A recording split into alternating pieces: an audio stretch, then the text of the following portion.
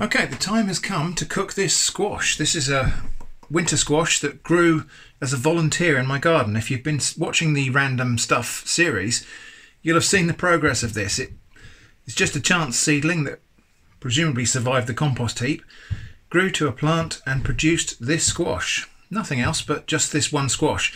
Today we're going to cook it.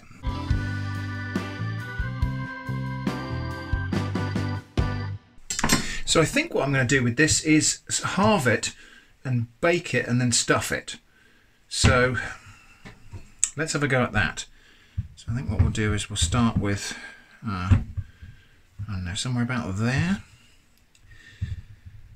Yeah, around about there. So it's worth noting, I don't know what variety of squash this is. It does resemble, in some ways, an acorn squash, but it's a bit longer than I would expect an acorn squash to be. And it's just a chance seedling that grew in my garden. So don't really know what it is. And it's probably either showing some characteristics of an, the parents of an F1 hybrid that I did grow, or it might just be some sort of natural cross anyway. But I've not been able to find a squash that looks exactly like this. Kind of canary yellow and Looks a bit like a cocoa pod, I suppose, really.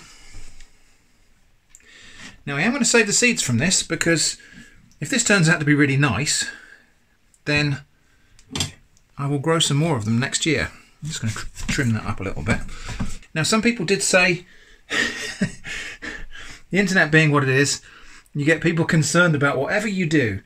And some people did say there's a possibility that it could be really bitter and that could be dangerous to eat. So let's just put that fear to rest right now. I'm not going to eat much of it raw, but we'll taste a little bit, bit of it to see if it's bitter. No, it's not. I think it could be a spaghetti squash actually, because it has a, it has that kind of fibrousness to it. I was expecting a bit more of a cavity inside of here actually, but that's not a bad thing, I suppose. That it's got a fair bit of flesh to it. And it has got that kind of stringiness to it, although they always do in the middle part here. So it could be a spaghetti gourd, but we'll see. When, we, when we've cooked it, we'll kind of know. I will clean and reserve a good number of those seeds and we might grow them in future. Now, I'm just going to give those some olive oil. Make sure that goes, that oil goes all over them. A little bit of salt. Those are going to go into the oven now for probably three quarters of an hour until they're baked and tender. After about 40 minutes in the oven, they are starting to go soft and translucent, which is good. Now I'm going to stuff these with something I prepared earlier. So this is me preparing it earlier. So we'll need a stuffing for this winter squash, and this bit happened earlier in the day. I've got some red lentils, a tin of chopped tomatoes, a seasoning cube, a couple of cloves of garlic, an onion, and a red pepper. I'm just going to fry up the onion and red pepper and garlic to soften them a little bit, and then I'm just going to put that in the slow cooker together with maybe a little bit of water if it needs it, and we'll cook the lentils until they're tender.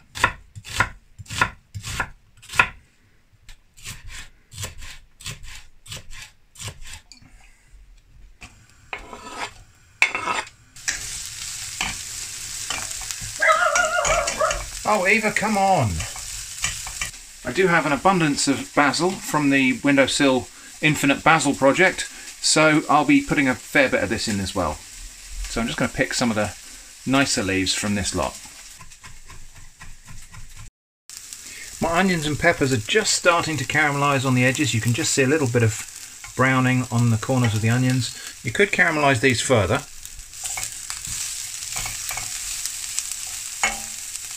But I don't really want to. So now it's just going to be in with the garlic. And also while we're frying here, a little bit of smoked paprika about a teaspoonful.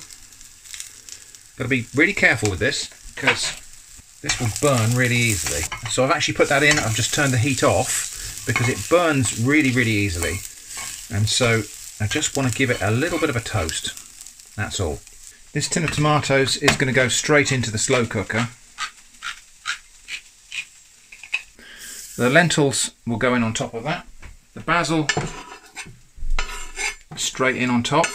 The seasoning cube. Now this is a, one of these little Maggi seasoning cubes. It's really just salt and MSG and a few little bits of spices. Just crumble that in. And then my vegetables, my fried vegetables in as well. And I will just deglaze this pan with a little bit of water. There's no point wasting that flavour that was kind of cooked onto the pan. So I'm just going to give that a mix together in the slow cooker. I think there's probably enough liquid there for the lentils to soak up. I'm going to cook that on high for a couple of hours.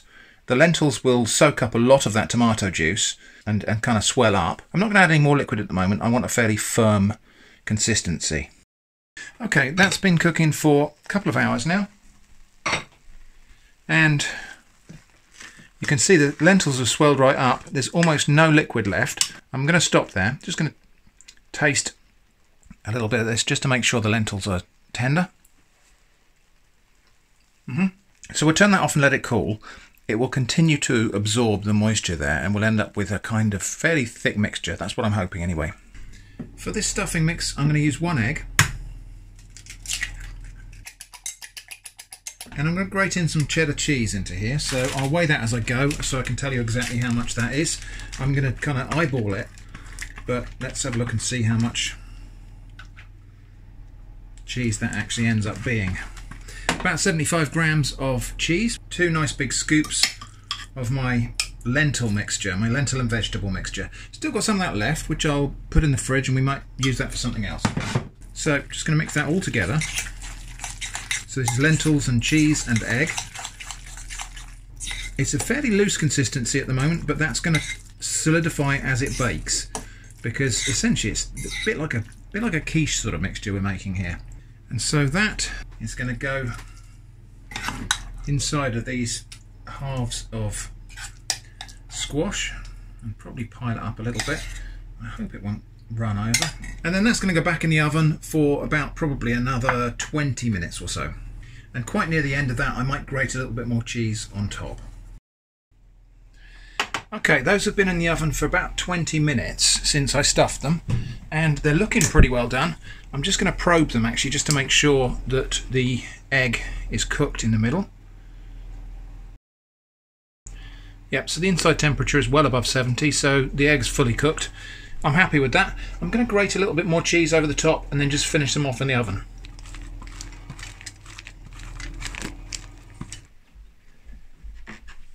Right, which one do you want? Uh, They're both about the same. That one? Yeah. Interesting. This is a stuffed winter squash, stuffed with lentils and cheese and egg and stuff. We're going to have that with chips and a salad and some tomatoes. I'm just going to taste a little bit of this so I can give you my impression of it. Well, it's interesting how it's baked. It's almost like potato in texture. Let's just try a bit of the squash on its own first. Hmm. Yes, it's quite a potatoy sort of texture. More like a sweet potato, I'd say, actually. Really nice and flavoursome, actually. Sweet and tasty.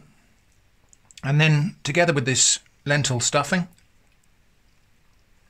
Hot. Hmm. That's really nice. Okay, well, that's about all I'm going to cover of this. I'm not going to video the whole meal, obviously. But that was a huge success, and I think I will keep those seeds, and we'll try growing some of these in future. They're nice and tasty. So just to take a really good close look at this, it's definitely not a spaghetti squash because the texture of the flesh is, well, it's a lot like potato. It's a lot like sweet potato. So it's coming out in fluffy sort of chunks like this. So I would say that's probably not a vegetable spaghetti, but it's really nice. What do you think, Jenny? Yep, I think it's brilliant actually. Yeah. So we'll grow some of them on, pur on purpose sometime in the future. Eva thinks so too. The closest thing I can liken it to is sweet potato, wouldn't you say? Mm, yeah. Mm. Which is good. I imagine that probably hasn't got quite the carbs of a sweet potato, though. It's probably a little bit higher on the fibre and lower on the carbohydrates. But yeah, I'm impressed with that. It's a shame there was only one. Yeah. A bunch of people have asked me over a fairly broad span of time if there's a Discord server for Atomic Shrimp.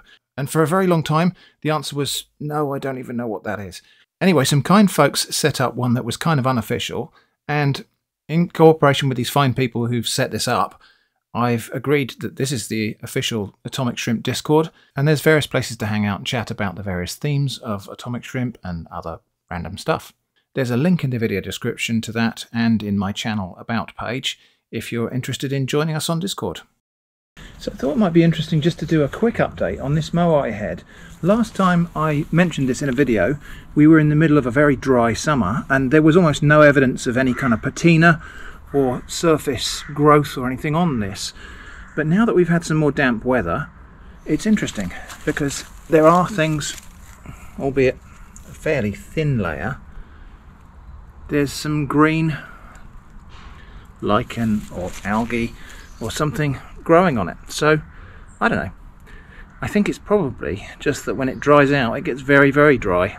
So, I don't think it's going to actually sustain a permanent patina.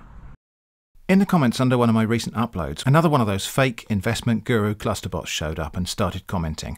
Now, I've done several previous videos about this, including one where my deletion of the payload, that is the part where the scammers provide WhatsApp contact details, appears to have triggered them to delete their own thread. Quite a few people said it was probably not my removal of the payload, but YouTube who deleted the thread. I love your optimism, never lose it. In my experience, problematic comments either disappear very fast or very slow, sometimes not at all. What I mean by that is I think it's reasonable to assume that YouTube's own automated algorithms process comments very soon after they're posted or edited. I think it would probably be computationally expensive for YouTube to be continually looking again and again at the same unchanged comments. So if they survive the first minute, that's probably the end of YouTube's attention span, at least from an automated perspective. After that, in my experience, the comments stick around for a while.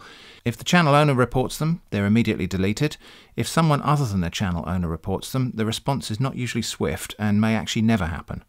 Anyway, in this more recent example, I posted some anti recommendations, and a bunch of people from the audience joined in with their own anti recommendations, which was a lot of fun. Thanks for this. Although it did make it a bit difficult to tell who was a bot and who wasn't.